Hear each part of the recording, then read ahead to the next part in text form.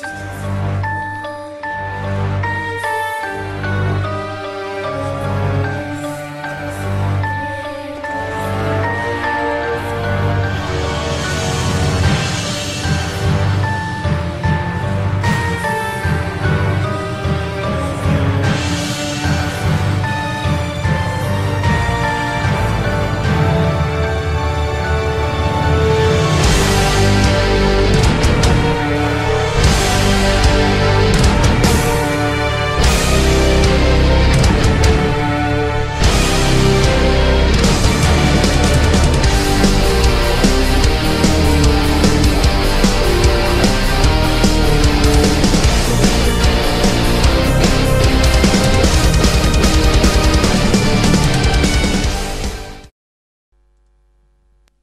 este rolul partidelor mici pe scena politică românească sau de ce oscilează acestea între a acționa pe cont propriu sau la remorca altei formațiuni? Am încercat să deslușim luni, împreună cu președintele Organizației Municipale a Partidului Conservator, George Fulina, și liderul filialei județene a tinerilor conservatori, Ciprian George Ulmeanu. Liderul PC Constanța a explicat de ce s-a desființat alianța de centru-dreapta și de ce conservatorii s-au reîntors la prima lor dragoste, Partidul Social Democrat.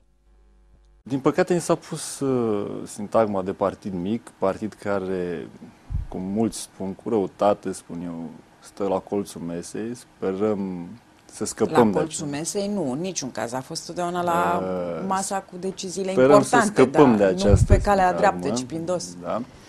Uh, totuși, Partidul Conservator nu aș spune că este un partid atât de mic. Am ales să mergem pe ceea ce ne-am propus acum trei ani, să mergem în continuare pe programul pe care USL și l-a asumat.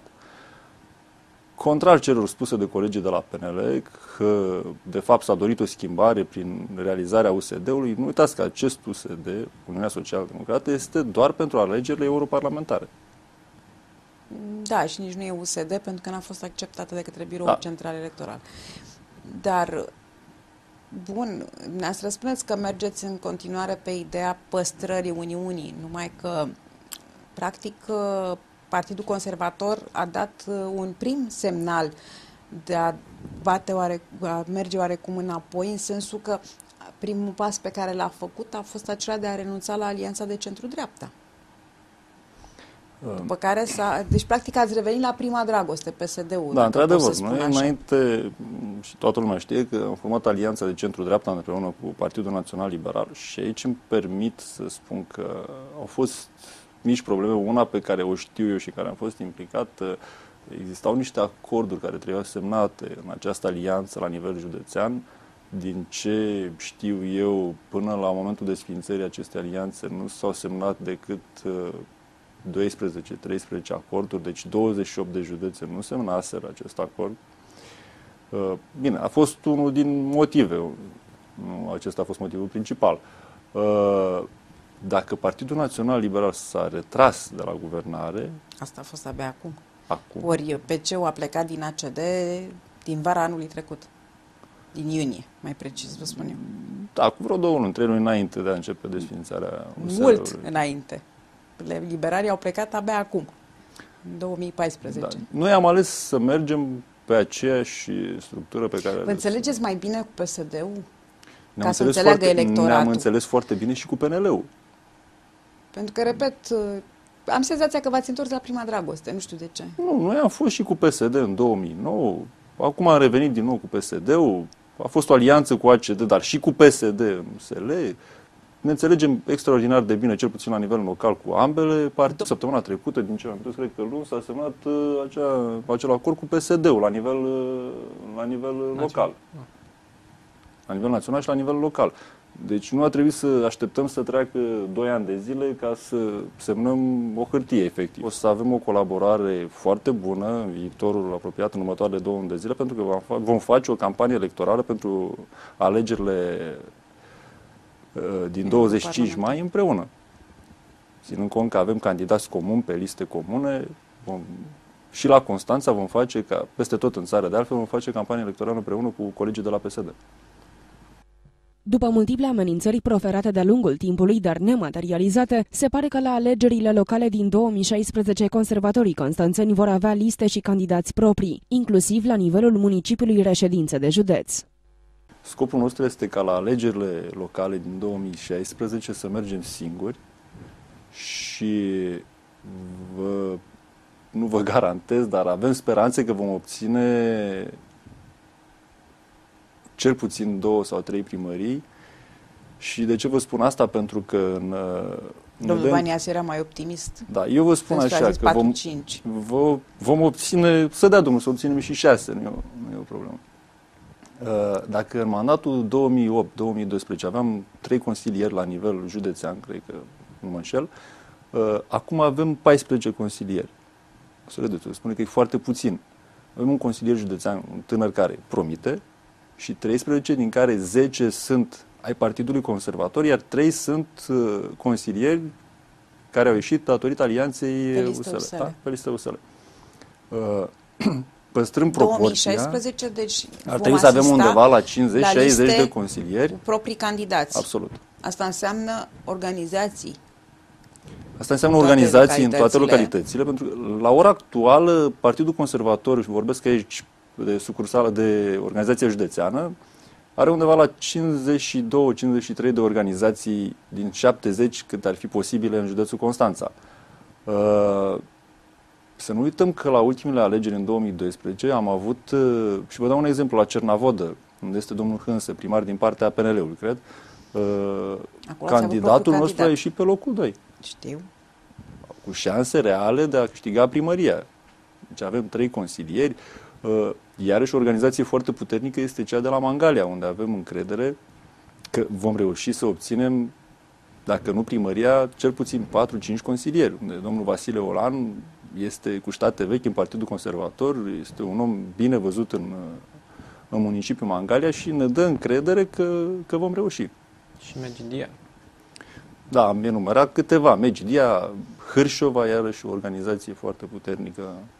Zona aceea pe care se, de care se ocupă domnul Rahău, dacă nu mă înșel. Domnul Dan Rahău, da. Experiența lui politică își spune cuvântul. Absolut. Bun, dar la nivelul municipiului Constanța, că dumneavoastră sunteți liderul filialei municipale. Așa, la nivelul municipiului Constanța, așa cum Cum vor fi alegerile 2016 în municipiul Constanța pentru conservatori? Vom avea candidați, sigur vom avea candidați proprii pe liste. La a, Consiliu vă referiți? La Consiliul Local, Bun. unde cred că Partidul Conservator n-a avut de mult sau chiar nu a avut consilieri locali. Ei, vom avea noi în 2016 și acești, de fapt această muncă care am început anul trecut a fost prin, primul prin a forma o echipă tânără, o echipă ca și mine de altfel din oameni care nu au experiență în politică, uh, oameni care și-au realizat sau sunt oarecum realizați în viață, au un scop al lor, vin să facă politică pentru a-și impune niște idei. De aceea am de mare încredere că în 2016 vom reuși și vom obține cel puțin două, trei mandate Veți de consiliere Veți să aveți și propriul candidat pentru primăria Constanța? Presupun că dacă vom merge pe liste proprii, o să avem și un candidat. Dacă la seniori orgoliile sunt dificil de trecut cu vederea, tinerii par să colaboreze mai bine cu aliații social-democrați de la nivelul județului Constanța. Cu omologul meu de la Uh, tineretul social-democrat. Uh, m-am întâlnit de mai multe ori, am vorbit și am fost uh, plăcut surprins că m-a sunat înaintea sărbătorii Dragobete m-a sunat și mi-a spus uh, George, te invit cu organizația de tineret la un bal pe care noi vrem să-l facem cu ocazia Dragobetelui. Uh, vreau să participați și voi, că suntem uh, o alianță și vreau să facem acțiunea asta împreună. Și am fost, a fost... La distracții, cred și eu că tineretul e primul acolo, dar altceva, proiecte acțiuni concrete. Am discutat de mai multe ori și uh, avem un plan să facem acțiuni comune. Acum se apropie campania electorală. O să lipiți afișa împreună, asta e știut? Uh, să mergeți nu numai împreună asta. cu materiale... Organizațiile de tineret nu fac uh, doar asta. Și mai nou se cam apelează pe la uh, uh, firmele care se ocupă de panotaj, de Asta presupune costuri suplimentare. Nu știu dacă într-o perioadă de criză formațiunile politice își mai permit așa ceva, în condițiile în care au resursă umană destulă. Atât PSD cât și PC. Bun, PC-ul aveți 100 și ceva la nivel de județ, dar PSD-ul au organizația de tineret puternică și au pe ce să se bazeze în campanii electorale. Dar recunosc și sunt convinsă că și telespectatorii sunt de aceeași părere vor să vadă altceva. S-au obișnuit, s-au săturat, pardon, de a vedea numai uh, acțiuni din acestea de discoteci, Miss Boboc, uh, Miss uh, nu știu mai care, Mister nu știu care, nu. Da. Trebuie altceva. Vrem să uh, încercăm să atragem uh, tinerii prin uh, uh, întâlniri în care să uh, îi învățăm cum să acceseze fonduri europene, cum să uh, beneficieze de programele despre care povestea mai devreme domnul Fulina, uh, de uh, începerea unui, unei afaceri. Chiar și cele pe agricultură, de dezvoltarea unei microferme, în speranța că vor atrage mai mult electoratul de partea lor, conservatorii constanțeni și-au stabilit obiective. Dacă la nivel municipal se vrea ca organizație să fie precum un club de afaceri, juniorii se axează pe susținerea colegilor lor ca viitori antreprenori. Mi-am propus și vă spun, am, am reorganizat aproape totul. Am adus tineri din, în biroul municipal. Câți membri aveți la ora actuală? În birou sunt 25, iar la nivel, la nivel, de, filială. la nivel de filială undeva la 800-1000 de, de membri. Dar activi sunt 100-200 de membri care vin la partid și sunt implicați în, în viața partidului. Am încercat să reorganizăm... Uh, Puțini activi din 1000.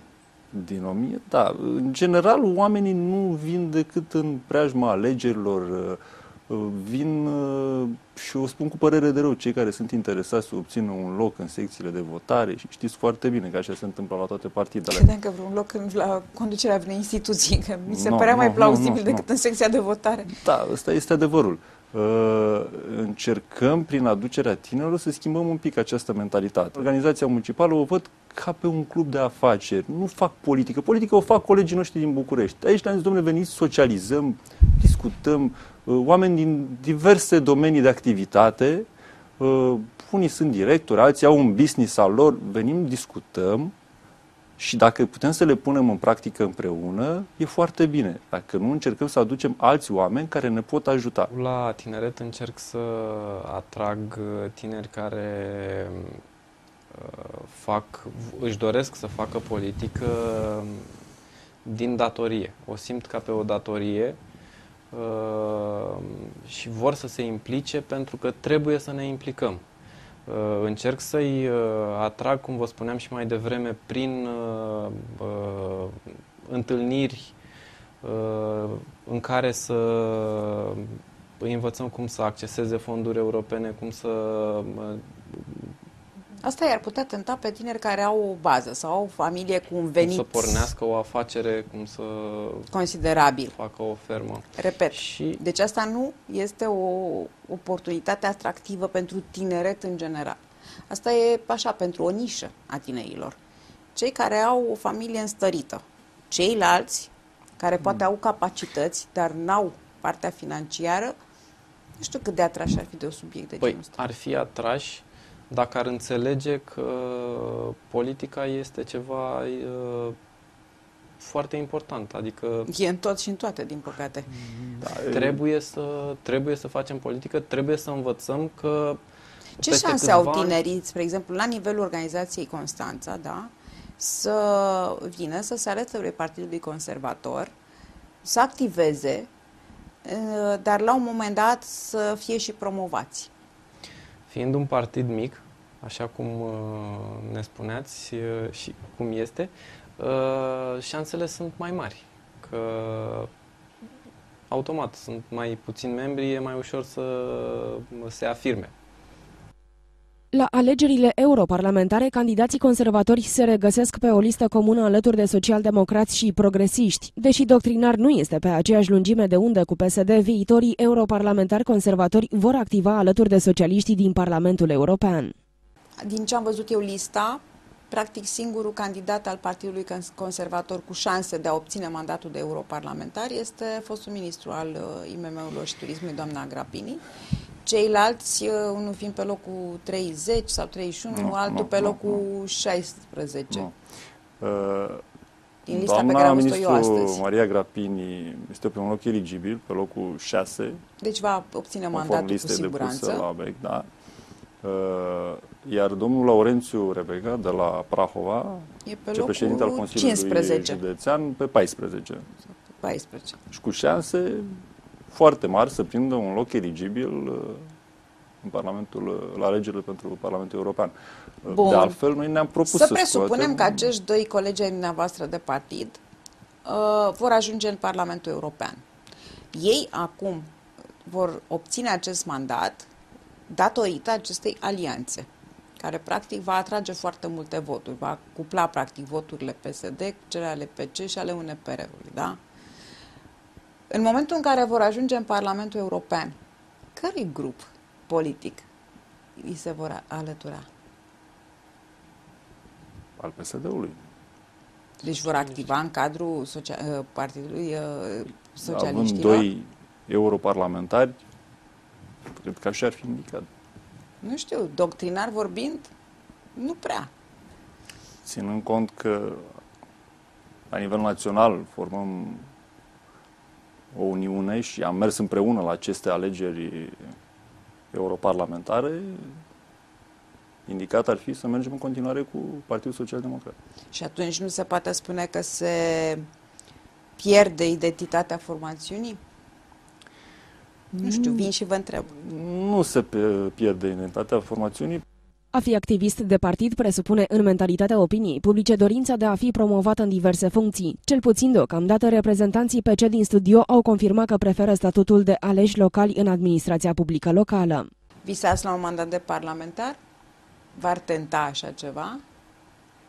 Nu cred că este momentul să vorbim E posibil în 2016 un... să vă vedem consilier municipal, consilier județean? Mai degrabă, pentru că așa cum v-am spus, ne pregătim pentru alegerile locale, în primul rând, în 2016, unde sigur ne vom regăsi pe listele la alegeri la municipiu ori la județ și unde sperăm să obținem uh, deci mai degrabă în 2016 vă vedeți un uh, ales local Absolut. decât un da, parlamentar. Da.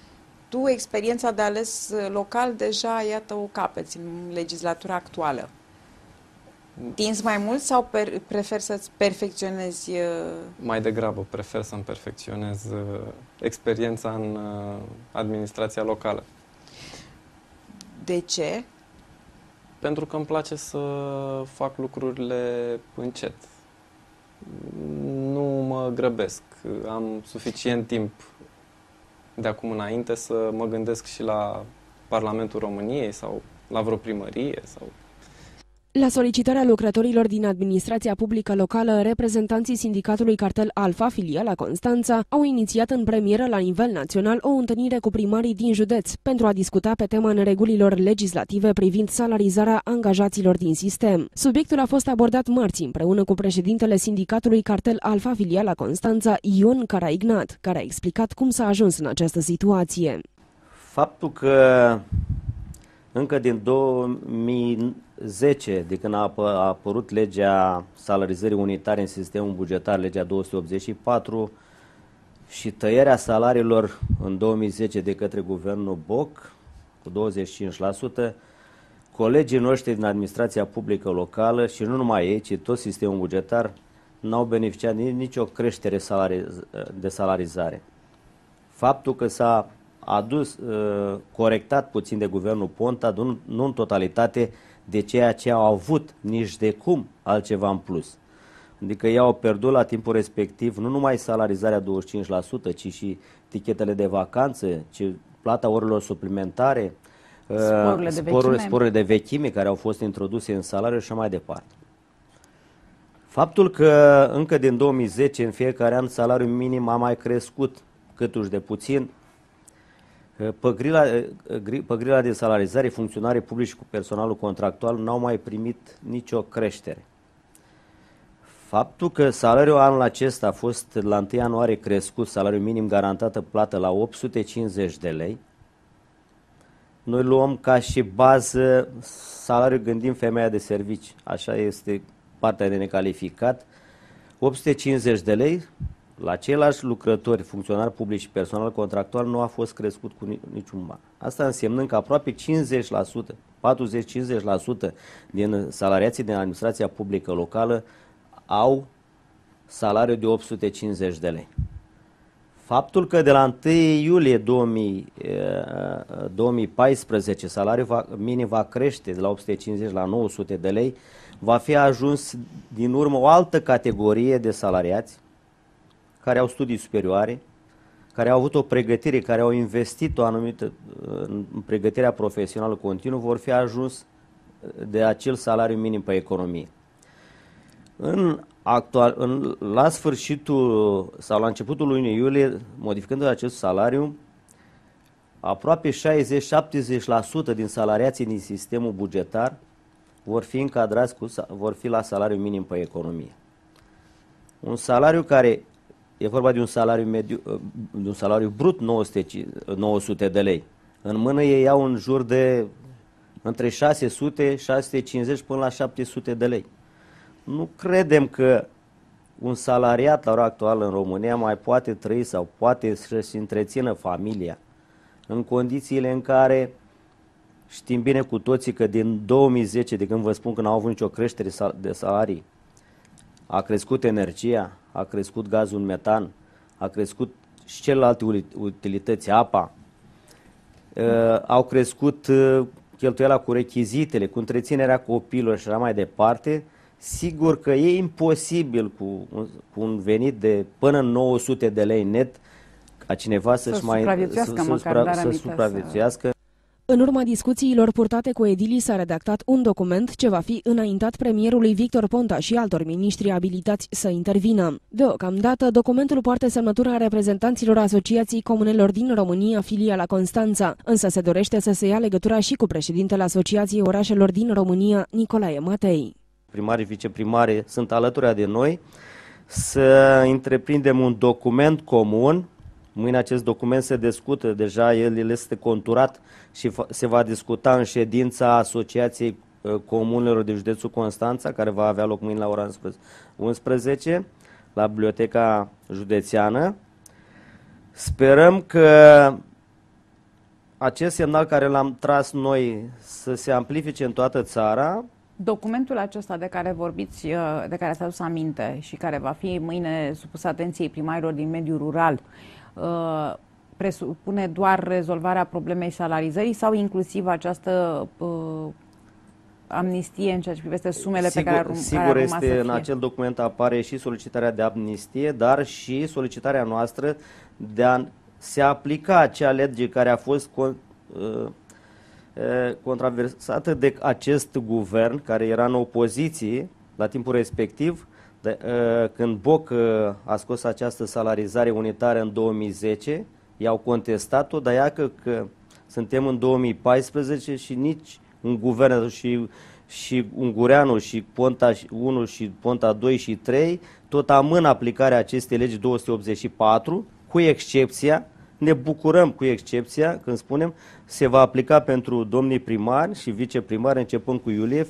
că uh, pentru dânsii, 1 iulie va, se va aplica legea 284. Ne bucurăm acest lucru prin faptul că și ei au fost degrevați în mandatul lor, nu li s-a recunoscut sporul de vechime. Am invitat și uh, primare de mediu urban, am discutat cu domnul primar de la Megidia, cu domnul primar de la Mangalea, cu domnul primar de la Techirgol, inclusiv cu domnul primar Matei de la Năvodar, care fiind și președintele Asociației Orașelor. Din păcate, dânsul n-a putut veni vineri la acea întrunire, eram, am fi fost foarte onorați, dar a avut o problemă și a plecat din localitate. urmând în următoarea perioadă să-l contactăm și pe dânsul, că am dorit și dânsul să-și spună antetul pe acest document, că pe acest document până acum va fi antetul Confederației Naționale Sindical, Cartel Alfa și Asociația Comunilor, Nemulțumirea lucrătorilor din administrația publică locală cauzată de salarizare are efecte în timp. Ion Caraignat a atenționat că, odată ajunși la pensionare, aceștia vor beneficia de pensii foarte mici, care nu le vor permite nici măcar să supraviețuiască. Acest salariu minim și salarizarea din sistemul bugetar, nu numai pentru colegii din administrație, ci și colegii din, din sănătate, din învățământ, din protecția copilului, sunt salarii foarte mici care vor veni cu un bumerang dezastros pentru acești colegi, mai ales pentru acei colegi care s-au angajat, n-au prins uh, și perioada dinainte de 90, să zicem că am mai avut un 10-20 de ani de muncă. Deja au trecut 24 de ani. Cei care ies la pensie acum au mai avut 10 ani perioada cealaltă. 10, 12, 13 ani, unde au avut niște salarii în care pe timpul lui Ceaușescu erau grile de salarizare, era trepte de salarizare, Adică un muncitor sau un salariat sau un inginer era plătit în funcție de studii și pregătirea profesională. După modificarea codului muncii și apariția legii dialogului social, dispariția contractului unic la nivel național, unde tot era o grilă minimă de salarizare, adică față de necalificat, muncitorul calificat avea cel puțin o, un, 0, un 20% mai mare salariu decât necalificatul un, uh, un inginer avea 1,7, 1,2. Acum, după dispariția contractului unic la nivel național, salarizarea uh, s-a egalizat. Adică nu se mai ține cont cam studii superioare, cam studii medii, ci la angajare salariul este, v-am zis, vă dăm exemplu mai debutant uh, jurist cu studii superioare de drept, este angajat cu 850 de lei. Adică este nu mai este o inechitabil. Nu se poate să-i dai unui inginer, unui care a făcut 5 ani sau un, unui profesor să pleci sau, uh, sau medic să pleci de la un salariu minim pe economie. Și așa cum vă spuneam, va fi un bumerang către pensii. Un salariu, acum punctul de pensie este 791 de lei, raportat la un salariu mediu brut pe economie de 2300 de lei cei care au sub 2300 de lei vor avea o pensie sub 790 de lei. Și dacă un salariat, din, așa cum vă spuneam că sunt 70-80% cu salariu de, să zicem, până în 1300 de lei, cum spunea domnul primar de la Topalu, până acel salariat nu va primi decât 350-400 de lei pensii. Adică o pensie socială. O pensie socială. Un alt aspect abordat în cadrul ediției de marți a vizat fragmentarea mișcării sindicale, invitatul motivând că totul se întâmplă și din cauza implicării în politică a liderilor sindicali. Unii lideri mari de confederații sindicale, de federații, de, de sindicate județene au accesat politic. Cred că și asta a fost uh, sau este o, o lovitură a mișcării sindicale, că Spuneam unui coleg, băi, dacă ești dintr-un partid care e la putere, ai accesat și zici, când mergi în piață, la guvern sau la prefectură, indiferent că vrem noi lire sau nu vrem, colegii noștri strigă jos guvernul și tu ești membru acelui partid, cum te simți? Probabil unii pentru interese, probabil Uh, uh, iarăși, după modificarea legii dialogului social și vă spuneam legat de reprezentativitate, apariția negocierii cu uh, contractul colective cu reprezentanții salariaților, să, crede, să știți că reprezentanții salariaților de multe ori sunt rudele patronilor. Adică el îl cheamă vărulei cu mătrulei sau ce ești acolo, negociem un contract colectiv de muncă, eliminăm sindicatul de acolo. Uh, și asta este apariția sindicatelor galbene, asta înseamnă, sau sindicate constituite de patroni. N-am fost niciodată de acord uh, ca lideri de sindicat să intre în politică. Odată ce s-a dedicat mișcării sindicale, ar trebui să rămână în mișcarea sindicală, să ducă greu până la capăt. Cum jonglează liderii de sindicat care sunt în, și implicați în administrația publică locală și în politică și în mișcarea sindicală? Un 3 în 1 așa chiar, chiar, este chiar foarte nu e, dificil. e foarte dificil și nu e de înțeles. Uh, uh, problema este a mea și îmi pun întrebarea de ce membrii de sindicat acceptă, dar probabil nu întotdeauna este glasul membrilor de sindicate, ea și alege câteodată și le se impune liderul de sindicat. Revenind la problema salarizării din administrația publică locală, Ion Caraignat a prezentat pașii ce vor fi urmați de către sindicaliștii și edilii șefi din diverse zone ale țării. Așa cum am stabilit la acea întrunire din 21 martie cu doamna președintă Asociației Comunilor din județul Constanța, deja avem redactat un document, el încă nu este finalizat. Acest document va fi prezentat și mâine în forma care va fi până mâine, el la ora 11 la Biblioteca Județeană Constanța, la întrunirea cu aso- uh, primare din, uh, din Asociația Rural. Mediul Rural. Uh, urmând ca în 11 aprilie, eu, președinta Sindicatului în Administrație Publică, doamna Cristian Georgeta, care mâine va participa, din păcate nu pot participa, că sunt plecat din localitate, dar va participa colega mea și secretara filialei, doamna Cristian Georgeta, la această întrunire. Urmând ca pe 11 aprilie 2014 vom participa la o întrunire la Tulcea, uh, în sala Gogălnicianu, e o întrunire destul, se pare că va fi invitat și uh, reprezentanții municipiilor, uh, Consiliul Județene, va fi o, chiar o întrunire mult mai largă decât la Constanța. În același timp am vorbit cu colegul până astăzi, cu colegul de la Timișoara și probabil săptămâna sau cel puțin săptămâna viitoare va fi o, o acțiune de manieră aceea de la Constanța, urmând să transmitem uh, și solicităm și colegilor celelalte, celelalte județe. Pe când să... considerați că acest document va ajunge pe masa premierului? Că practic acela e punctul terminus. Dacă, doc, dacă mâine Asociația Orașilor convin ca documentul să poartă sigla Confederației Cartel Alfa Filiala Constanța și asociația, el probabil săptămâna viitoare el va fi transmis va fi transmis premierul. de către Constanța, către premier, Ministerul Ministrul A, deci, de practic, Finanțe. va porni din fiecare județ deci, un astfel de material. Un astfel de material. Nu se așteaptă de... ca acțiunea să se rezolve la nivelul... Urmând, chiar asta și vorbeam cu doamna primar Gâju, că dacă e necesar vom face și o acțiune de protest uh, comună uh, la Constanța sau la, la București. Învățământul preuniversitar constanțean de la simulări la realitate a generat miercuri o dezbatere la care au participat inspectorul general al ISJ Constanța Răducu Popescu și inspectorul pe învățământ tehnic și profesional Gabriela Neagu. Șeful ISJ a subliniat că măsurile ce se vor lua, în special pentru elevii de clasa 8 -a, vor avea efecte pe termen lung, mai precis se vor vedea la generațiile viitoare. Soluțiile sunt pentru generațiile care vor da examenul de evaluare și uh, examenul național de bacalaureat uh, peste 6-8 ani.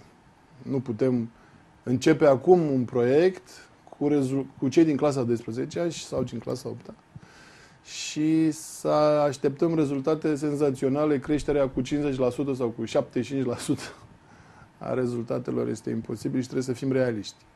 Cauze sunt multiple și încercăm să le rezolvăm cu pași mici, metodici, pe cele care ne sunt la îndemână. Ne propunem pentru cei din clasa 8 în principal trei direcții. Prima, prima intenția noastră este de a-i pregăti pe elevi pentru, acest, pentru această confruntare.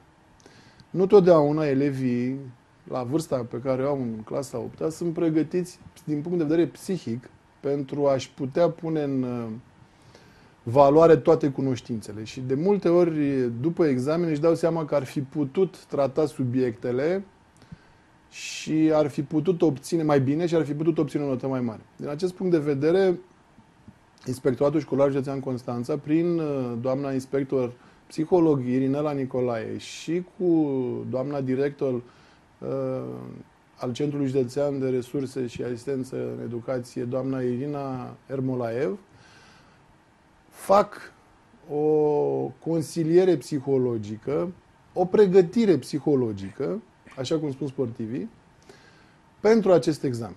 Deci asta este o primă, uh, o primă direcție. A doua direcție este reprezentată de discuțiile și întâlnirile profesorilor de matematică și de limba română cu părinții, prezentându-le lucrările și discutând concret cu lucrările în față, cu fiecare elev și cu fiecare părinte în parte. Aceste întâlniri au avut loc și se vor finaliza săptămâna aceasta în toate unitățile școlare. În mare parte din unități, aceste întâlniri au avut loc. Și bineînțeles, cea de-a treia și cea mai așteptată soluție este uh, reprezentată de programul remedial, adică orele de pregătire cu elevii pentru examenul de valoare națională. Dar aceste ore de pregătire, materia trebuie abordată nu de la început până la sfârșit, ci doar acolo unde aceste uh, lucrări de la limba română și de la matematică, cele de la simulare, ne, le arată profesorilor în funcție de fiecare colectiv, în funcție de fiecare elev, unde este necesar să insiste și ce trebuie explicat și lămurit astfel încât elevii să-și completeze bagajul de cunoștințe Înființarea învățământului profesional a devenit o prioritate pentru Ministerul de Resort. Pentru anul școlar 2014-2015, Inspectoratul Școlar Județean Constanța oferind absolvenților ciclului gimnazial diverse opțiuni. Inspectorul Neagu a prezentat care sunt meseriile pe care elevii le pot învăța în școlile profesionale din județ. Uh, sunt uh, 20 de calificări, rog așa în le total. Așa. Uh, spuneam de pârvan, templar universal, comerciant la uh, Carol, uh, ospătar la încă două unități, Magiaru și Carol, uh, horticultor, de exemplu, în județ la Poarta Albă, uh, electromecanic, material rulant pentru CFR, da, la liceul CFR, lăcătuși construcții navale la liceul de marină, desigur. Lucrător hotelier am văzut în reportajul anterior la Rosetti, fostul liceu SNC, care are o dublă ofertă, atât pentru uh, parteneriatul cu șantierul naval, cât și pentru zona hotelieră. Deci lucrător hotelier și sudor la Rosetti. Uh, Zugrav la, liceul, la Colegiul Tehnic Tomis, liceul de construcții bine cunoscut. Uh, frizer și aceasta este iarăși o ofertă unică la liceul Magiaru frizer, coafor, uh, manicurist, pedicurist. Este o calificare mai complexă. Electronist, rețele de telecomunicații la Liceul de Telecomunicații, desigur, cu partenerul uh, său. La liceul din Crucea, agricultor culturi de câmp. Crucea uh, este un liceu în devenire, cu rezultate foarte bune și cu parteneriate solide deja, unde majoritatea absolvenților sunt angajați.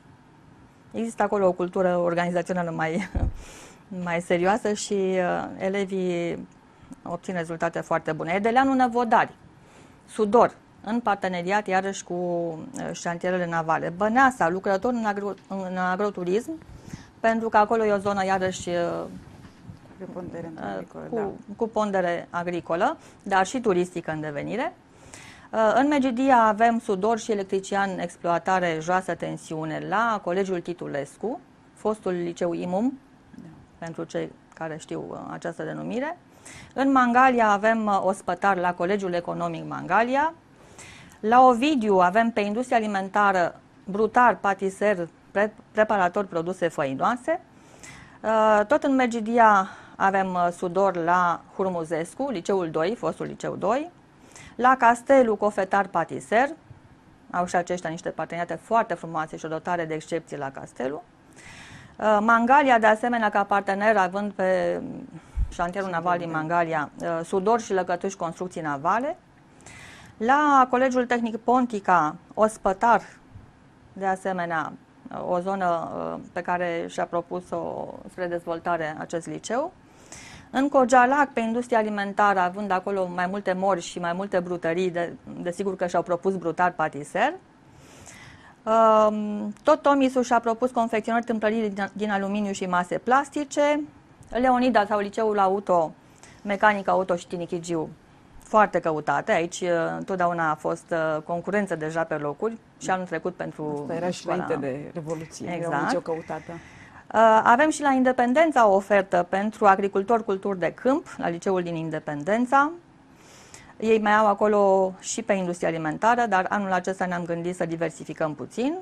La Cernavodă, Sudor, iarăși fiind o zonă industrială și uh, liceul din Cernavodă oferă această calificare. Iar uh, pe lângă toate acestea mai avem o ofertă inclusiv pentru învățământul special, uh, 12 locuri pentru turiști și alimentație la Centrul Școlar de Educație Inclusivă Albatros pentru că și învățământul special intră în uh, analizele noastre și în uh, proiecțiile noastre de plan de școlarizare. Pentru a-și îndruma copiii spre școlile profesionale, șeful ISJ Constanța consideră că părinții trebuie să renunțe la prejudecăți, să conștientizeze care este potențialul real al acestora și să vadă avantajele oferite de sistem. Există o astfel de prejudecată și nu este corectă. Total corectă. Pe de altă parte, un lucru foarte important pe care ar fi trebuit să-l spunem și îl vom spune de mai multe ori, sper, până la finalul acestei emisiuni, este reprezentat de acea bursă pe care elevii o vor primi odată ce vor frecventa aceste cursuri ale uh, școlilor profesionale de 2 milioane de lei în fiecare lună. Deci toți elevii care vor frecventa uh, cursurile școlilor profesionale vor primi din partea statului o bursă de 2 milioane de lei în fiecare lună. Probabil, indiferent de nivelul de veniturilor din familie, fără niciun, fel de, fără niciun fel de uh, condiționare a veniturilor sau în funcție de veniturile obținute de familie sau de alte, alte situații. Nu. Fiecare elev care frecventează, repet, care frecventează. Cei care nu frecventează nu vor primi, având absențe, dar cei care frecventează vor primi acești bani. Pe de altă parte, toți agenții economici pe care doamna Neagu i-a uh, amintit mai devreme, și-au manifestat, cum uh, în principal șantierul naval Constanța, prin doamna Putinei, care a fost prezentă la această întâlnire și au manifestat intenția și au făcut o promisiune fermă că în situația în care identifică și cu siguranță că vor identifica în grupul elevilor care vor face practică în anul 3 sau poate că din anul 2 în uh, șantierul naval, pe lângă toate beneficiile care le vor obține ca și toți ceilalți angajați de acolo, mă refer la uh, costume de protecție și toate aceste uh, beneficii, mici beneficii, care nu le puteau obține altfel, vor primi o bursă și din partea șantierului naval. Totodată, cei care vor primi bursă vor semna și un contract cu șantierul naval Constanța. Posibilă introducerea unui cod etic pentru învățământul preuniversitar a fost văzută cu ochii buni de reprezentanții ISJ Constanța aflați în platou. Categoric este nevoie de un cod etic. Ori orice țară are un cod etic și în Europa chiar m-a preocupat acest subiect și am studiat mai multe sisteme. Comparativ, suntem într-un, într-o zonă în care derapajele nu sunt înregistrate și nu sunt uh, sancționate în niciun fel. Nu există nicio, nicio astfel de intenție din partea niciunui profesor în țările unde codul de etică, legislația, cadrul legislativ uh, stabilește clar ce trebuie și ce nu trebuie făcut. Fiecare unitate școlară, fiecare consiliu profesoral sau consiliu de administrație a gândit într-un fel uh, abordarea acestui cod, et, cod etic. Unii au uh, integrat uh, aceste reguli în uh, regulamentul intern, alții au uh, elaborat o anexă a regulamentului de ordine interioară cu privire la codul etic. Uh, cert este uh, faptul că noi am constatat din inspecțiile pe care le-am realizat în teritoriu că este nevoie de o formare uh, specifică pe acest, pe acest subiect, având în vedere că se impun niște structuri, o, o formă, cadru, ca să spun așa, a acestui cod etic, având în vedere, de asemenea, și relațiile pe care le avem în acest triunghi de care se spunea mai devreme.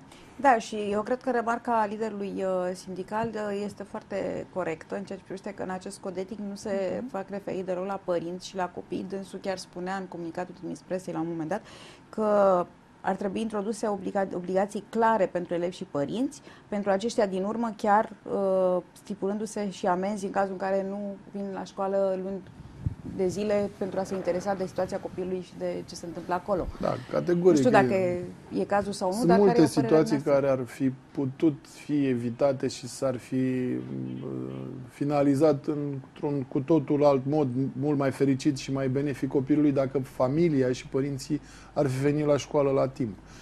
În timp ce nivelul scăzut la învățătură al elevilor din mediul rural a fost pus pe seama cadrelor didactice dezinteresate, Răducu Popescu a sugerat părinților care recurg la meditații să nu apeleze la profesorii de la clasă, ci din alte unități de învățământ. În mediul rural, profesorii vin și pleacă și nu totdeauna profesorii sunt uh, atât de motivați și nu fac meseria din pasiune și cu vocație, ei calculând poate uneori pe bună dreptate, câți bani câștig într-o lună și câți bani cheltui cu naveta și cu transportul și de fapt își dau seama că nu le mai rămâne mai nimic.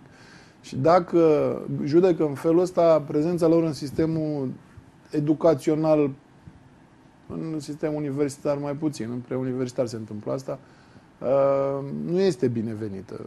Cu siguranță vor putea face alte meserii. Această meserie se face, așa cum am spus de fiecare dată, din pasiune. Cum o fac și eu și doamna Neagu și toți ceilalți profesori nu ne putem Bun, telespectatorul nostru cuantifica. că nu a dat uh, exemplu din mediul rural. A dat chiar exemplu Discutam aici așa. se ajunge, Constanța. aici se ajunge Da, dacă deci de acolo n-ai vin uneori. Pentru că în uh, marile, comunele mari, în uh, municipiile, în, oraș, în municipiile, în orașele mari, nu se prea întâmplă astfel de lucruri pentru că există o continuitate, iar profesorii au. Noi am propus ca titularizarea să se facă în mediul rural fără concurs, primarul să ofere o locuință, în fine, e un proiect uh, frumos, dar oarecum Greu destul de de pus în dificil de practică. realizat. Sunt lucruri verificate. Uh, copiii care fac meditație, nu toți, sau nu toți profesorii fac asta, cu siguranță. Uh, fac la meditație seara o problemă și a doua zi la teză se întâmplă să fie aceeași problemă. Și bineînțeles că nota este o notă pe măsură. Pentru ca părintele să aibă satisfacția faptului că mă, implicarea lui și efortul pe care îl face uh, se regăsește undeva. Da, dar practic ne furam singur căciula, nu știu. Părinții își fură singur Situația asta, căciula. Exact. Și cred că și pentru părinți uh, ar fi bine ca pregătirea pe care dânsii Suplimentară pe consideră care- că trebuie făcută să fie făcută de un alt cadru didactic dintr-o altă unitate școlară. Ultima adunare generală a Consiliului Județean al Elevilor din Constanța a fost catalogată de presa locală drept un circ, motiv pentru care în ediția de joi am încercat să aflăm ce anume a încins spiritele. Invitați în platou au fost președintele CJE Constanța Andrei Gâlcă, contestat de unii participanți la întrunire, Lăcrămioara Soare, președinte interimar și inspectorul general al ISJ Constanța Adriana Oprea. Reprezentantul ISJ a făcut o scurtă prezentare a ceea ce era Consiliul Județean al Elevilor Constanța și care e rolul său real.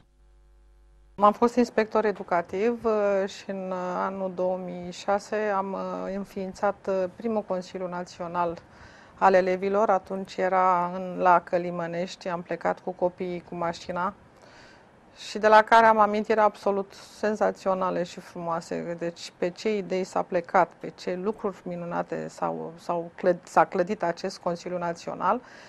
Consiliul Național pe care l-am aplicat și la nivelul județului Constanța, am avut uh, niște copii minunați cu care mă reîntâlnesc acum uh, și sunt uh, oameni realizați la momentul actual Uh, și am făcut cu ei o serie întreagă de proiecte, de acți- activități de întrajutorare. Țin minte că am mers la Dobromir uh, și le-am adus, le-am dus banane, nu știau să le desfacă copiii de acolo.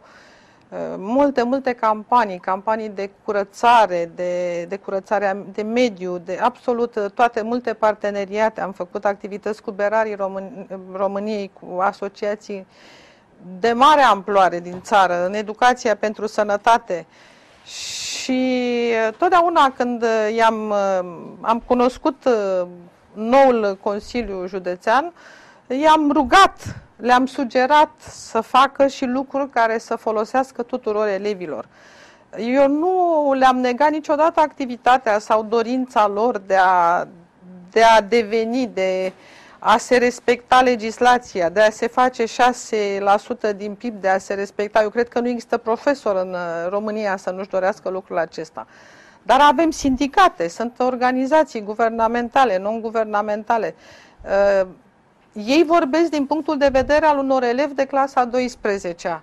Ori Consiliul acesta județean este format și din copii de, și din elevi din, din Gimnaziu. gimnaziu și din copii din mediul rural, din absolut toate școlile din județul Constanța. Totul s-a, s-a reglat între un grup de elevi care, nu spun, au avut, au avut intenții, dar intențiile lor au fost foarte limitate și cred că, nu știu, au început să-și dorească foarte mult funcții.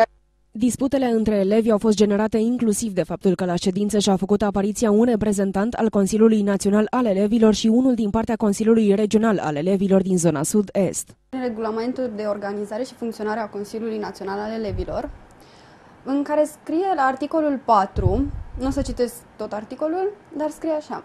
CNE coordonează consiliile regionale ale elevilor și care, la rândul lor, coordonează consiliile județene ale elevilor. De aici să se înțeleagă și de ce a venit uh, Codrin la noi, pentru că el ne coordonează pe noi, fiind E practic un președinte. responsabil zonal. Uh, Este un pic greșit, pot să contrazic, deoarece uh, veghează la uh, buna desfășurare a lucrurilor în Consiliu, uh, strict în uh, contextul uh, în care acestea se desfășoară.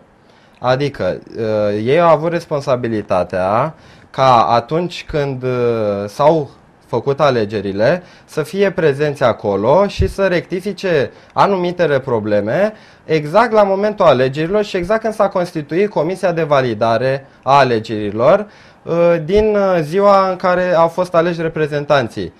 După, uh, cea, după trecerea acestei perioade de alegeri și de validare a candidaților, aceștia fiind uh, aleși și recunoscuți, necontestați de nimeni, nu mai se pune problema unei astfel de intervenții. În intervenția sa, Lăcrămioara Soare a lăsat să se înțeleagă că alegerea structurii de conducere a CJE Constanța s-a făcut de către un număr redus de participanți la scrutin, iar cei promovați pe diverse funcții n-ar avea susținerea necesară. De fiecare dată la alegeri trebuie să participe majoritatea sau chiar toți președinții, președinții de pe licee, respectiv gimnaziu, pentru a vota. Voturile trebuie să fie 50 plus 1. Bun. Din păcate au fost uh, foarte puține pentru... Adică, dăm câteva exemple concret, că sunt convinsă că ai participat la acea întrunire. Orice funcție la întâmplare, deci nu, am, uh, nu mă interesează cineva punctual. Pentru orice funcție m-ar interesa cât ar fi trebuit să aibă ca număr de voturi, astfel încât acea persoană ce a obținut mandatul respectiv să aibă o reprezentativitate și o susținere așa cum trebuie și cât s-a realizat. Deci ce trebuia și ce, ce s-a, care a fost realitatea. Nu o să dau nume, pentru că... Chiar nici nu vreau, pentru că nu, aici nu stăm să facem proces de intenție nimănui.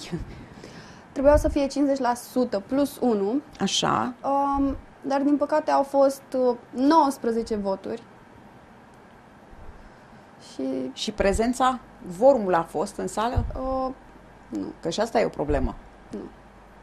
La rândul său, președintele CJE, Andrei Gâlcă, a declarat că nu ia în calcul dizolvarea actualului birou executiv. El a susținut că se dorește destabilizarea CJE Constanța deoarece liderii săi sunt incomozi și vocali. Însă, într-o intervenție telefonică, președintele Consiliului Regional al elevilor din Sud-Est, Codrin Bostan, a afirmat că nimeni n-are nimic cu CJE Constanța. Nu pot să iau în considerare po- posibilitatea dizolvării acestui, uh, acestui birou executiv în contextul în care s-a fost, a fost făcut, în contextul documentelor acesta, uh, nu se poate lua în considerare. Au trecut 5 luni de mandat. Documentele, uh, do, uh, dosarele noastre de candidatură au fost la Inspectoratul Școlar Județean. Procesul verbal l-am predat la Inspectoratul Școlar Județean. S-a comunicat la Națională situația, s-a comunicat la uh, Consiliul Național uh, și situația validării candidaturilor. A fost făcut un raport de validare. Consiliul Național a validat alegerile? A validat alegerile. Așa consider că am fost incomozi uh, pentru anumite persoane în condiții în care eu am dovezi clare că uh, această intervenție în adunarea generală a fost plănuită de ceva timp în urmă. Nimeni nu are nimic cu Consiliul Județean al Elevilor Constanța. A venit acum pentru că am primit multe reclamații din partea membrilor Consiliului Județene, Consiliul Județean al Elevilor Constanța. Am primit și pe adresa de contact, cât și eu personal pe adresa de Facebook. De aceea am venit uh, la Constanța. Cu siguranță gălceava dintre elevi se va aplana, iar liderii Consiliului Județean al elevilor din Constanța își vor urmări îndeplinirea obiectivelor stabilite. Eu am speranța că aceste lucruri o să se rezolve, că împreună, uh, reprezentând elevii constanțeni, uh, îi vom reprezenta în continuare cu demnitate și cu verticalitate, cum am făcut-o până acum. Nu ne vom lăsa influențați de niciun cadru uh, extern și de nimeni, pentru că noi avem niște interese declarate uh, oficial și uh, dorim să-i ajutăm pe elevi. Am început să merg prin licee să văd cum ni s-a părut uh, minunatul circ Și când am ajuns acolo, erau licee mai prost văzute din Constanța. Când am ajuns acolo, am văzut un zâmbet pe fața lor, pentru că au zis, wow, ne bagă și pe noi cineva în seamă. Și am întrebat ce ați dori voi în continuare de la acest Consiliu Județean al Elevilor și mi-au spus mai multe proiecte. Vrem să derulăm campanii împreună cu Agenția Națională Antidrog, să intrăm puternic pe eliminarea uh, consumului de droguri. Am înțeles. Uh, în continuare ne susținem uh, activitățile de încercăm să obținem cât mai multe reduceri pentru navetiști, pentru transportul în comun, Uh, o să derulăm și campanii de ecologizare în uh, județ. La Crămiara? Eu voi dori să fac un proiect uh, care să, să implice copiii în a merge și a face sport, pentru că la noi cel puțin nu se mai întâmplă așa ceva, majoritatea sunt îndrumați, cum mi-a zis un prieten, nu către sport, ci către McDonald's.